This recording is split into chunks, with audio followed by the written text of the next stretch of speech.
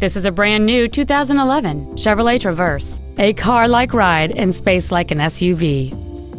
It features a 3.6-liter six-cylinder engine and an automatic transmission.